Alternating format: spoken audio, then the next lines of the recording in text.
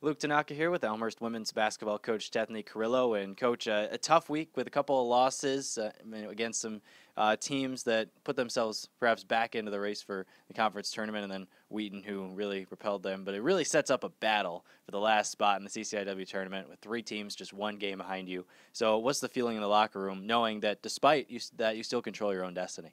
Yeah, uh, last week was a tough week. Definitely not how we uh, saw the week to go, but we are definitely putting it behind us, learning from it, uh, and know you know the only thing we can do is look forward and, and take care of the games in front of us because they're the most important games right now looking back one more time on the Carthage game on Wednesday, lost at the buzzer, trailed by 15 in the fourth quarter, but it seemed like you got exactly what you wanted on that final possession for Carthage. You get the ball out of Morgan Harris's hands, who had just been really brutal against you guys uh, both times, and you get it to a person who has shot one of seven from three-point range on the season. The odds are right in your favor, but she knocks down the shot. Uh, were you happy with the defense despite the result?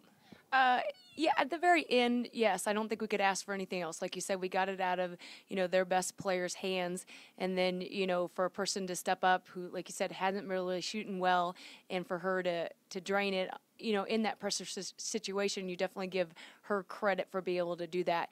Uh, I think previous our, our defense early on in the in the game, probably I'm, I'm definitely wasn't as happy as probably what I could have been, but on the last play, you can't ask for anything else did give up 78 points, but trailing by 15, you were able to come all the way back in the fourth quarter, and then Eppard's tough layup in the mid post, able to tie the game with just eight seconds left. What explains that turnaround in the fourth quarter?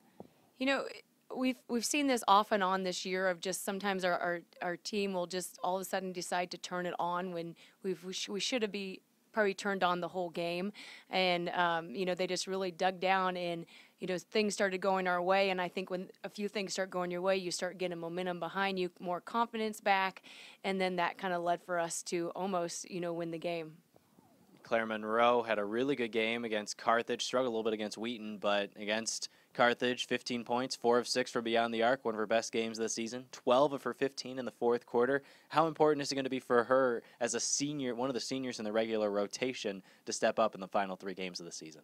It's definitely huge. I mean, you know, especially like you said, she's a senior. You know, she's been in the spotlight. She knows what it takes for sure to um, win these basketball games. So we really need a good performance from her and, and for her to be able to shoot well from the outside. And if for some reason her shot isn't going, then for to make sure she's crashing the boards because she she can really kind of be. Um, just annoying, I feel like, to other teams by the way she sneaks in there and steals the ball and gets jumped balls. So she's got to make sure that she's doing all all parts of the game besides just not shooting threes.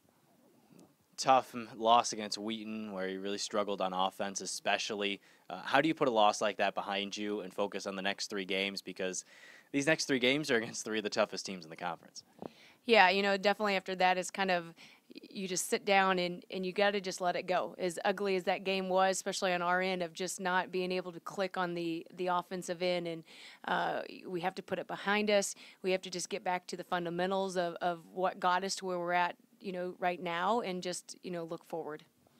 Looking forward, we in North Park on Wednesday. After limiting Liz Rayberger to, I believe, 3 of 11 from the field the first time, how do you repeat that and complete the sweep? She's such a good player that uh, it's definitely going to be hard to do. It's it's definitely not just one person. It's a it's a team effort. You know, the first time she got in a little bit of foul trouble. So to say this time, I don't I don't know what's going to happen for that, but we're definitely going to keep our eye on her and then make sure that we do a nice job on their other players. And then North Central on Saturday. Now that you've seen how the Cardinals operate, some of the players had never seen North Central before. Do you think that's going to help? And how do you make adjustments this time around to limit the turnovers? Yeah, I, I definitely think the second time around, and especially be at home, it's going to be senior day.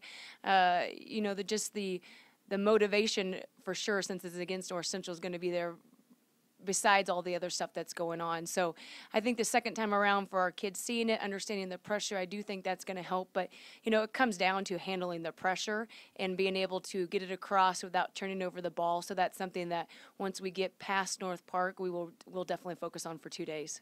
Before we let you go, I just want to ask a little bit about the senior class. You have four seniors that you're going to be honoring uh, on Saturday. Just uh, reflect a little bit on, on their path through uh, Elmhurst basketball and what they've meant to the program. You know, I was looking at pictures the other day, and it's just, it's hard to believe that four years has gone by. You know, this is a group that, uh, for the most part, for they were brought in to be more uh, outside shooters, to be three point shooters, because we really definitely needed that. And they have done that over the years. And a lot of them have got uh, many games underneath their belt, either from starting or coming in off the bench.